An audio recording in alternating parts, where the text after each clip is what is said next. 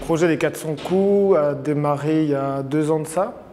Euh, c'est euh, une collaboration qu'on a mis en place entre le collectif L'Atelier du Bourg à Rennes, un collectif d'artistes dont je fais partie, et du coup la structure, la maison d'édition, le Tripode. On a été chargé avec, avec Julien et Anna, mes collègues, de, de trouver 20 artistes motivés par, par ce projet.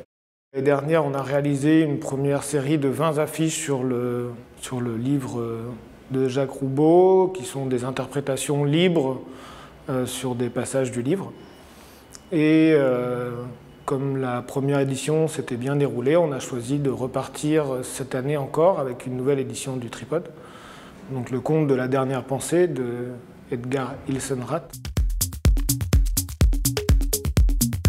L'idée, c'est de continuer ce projet euh, avec les 20 mêmes artistes et euh, si on y arrive, le tout pendant 20 ans, avec 20 éditions différentes, où tous les ans, euh, Frédéric nous propose une nouvelle ouvrage.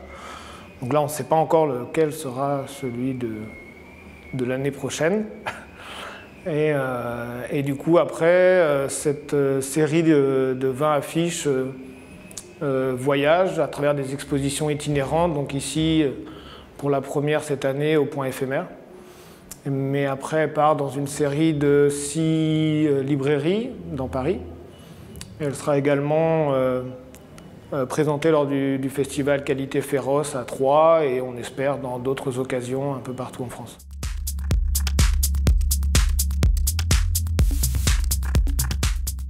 J'ai euh, planché sur les deux chapitres qui m'étaient attribués et, euh, à partir de cette, euh, de cette lecture d'une histoire très dense, il y a énormément de détails, énormément de... Donc c'est une histoire assez sombre puisque ça parle du, génocide arménien, mais avec un style d'écriture très particulier, propre à Ilsenrath, où, où malgré le sujet assez sensible, il mâche pas ses mots et ça en devient même drôle parfois.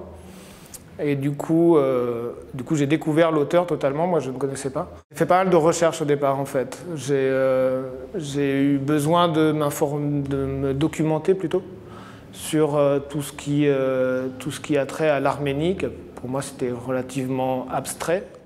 Je mélange en fait images et dessins et, et textes et j'essaye de de donner une image assez vivante. Du coup, là, ça a été euh, un mélange dans mon image euh, entre, euh, entre le personnage qui revient d'Amérique, des codes autour du, chapeau employé pour représenter l'Amérique, et en même temps l'idée de l'enfant qui arrive.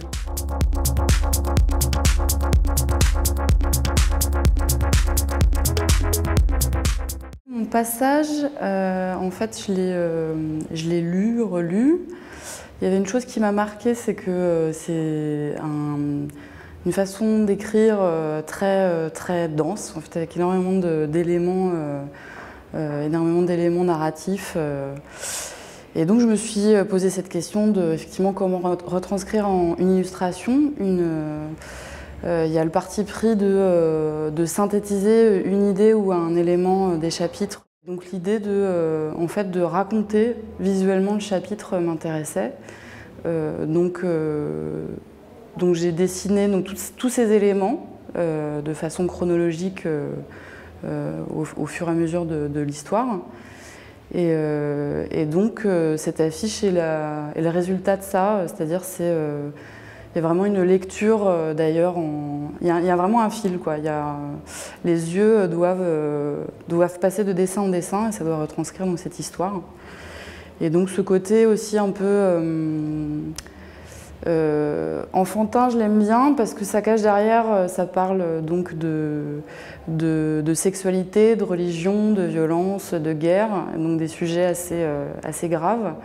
Et donc ce petit décalage-là me, me plaît bien. En premier lieu, que ce soit pour le, premier livre ou, ici euh, sur le livre euh, Les contes de la, pensée dernière, j'ai commencé par lire l'intégralité du roman. Euh, et je me suis arrêté un petit peu plus particulièrement sur mon passage, que j'ai relu plusieurs fois. Je me suis imprégné et, du, texte et aussi essayé de, comment dire, de dégager certaines choses qui me semblaient importantes. Vu que chaque, participant avait une, une partie assez développée. On avait soit un chapitre, soit une. enfin bon, on avait un nombre de pages assez conséquent. Il y avait moyen d'extraire certains éléments ou, ou, un passage un peu plus marquant.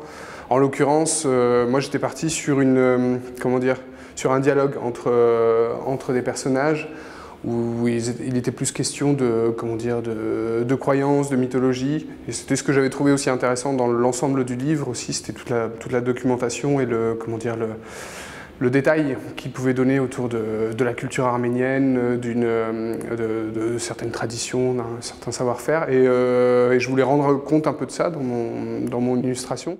Pour réaliser l'illustration, en, euh, en, premier lieu, avant de me lancer, après, après la lecture, euh, je, me suis pas mal documenté euh, sur ce que j'ai pu trouver. Hein. Ça s'arrêtait basiquement à quelques livres et puis, et puis, et puis Internet sur, sur l'art arménien, sur la culture arménienne, histoire d'influencer, comment dire, L'idée, c'est pas de faire une image, j'ai pas voulu faire une, une, image exactement comme dans, dans, un style, euh, je sais pas, une, image pieuse par exemple. J'ai vu beaucoup d'images pieuses euh, arméniennes puisque c'était une, culture très croyante. Euh, c'est souvent ce qui nous arrive de, de, cette époque-là. Mais, euh, mais l'idée, c'est comment dire que ça nourrisse un peu mon travail justement pour sortir un petit peu des sentiers, battus, enfin des sentiers battus, pour mes sentiers battus. Enfin, comment dire pour ne pas faire forcément ce que j'ai l'habitude de faire et retrouver des automatismes.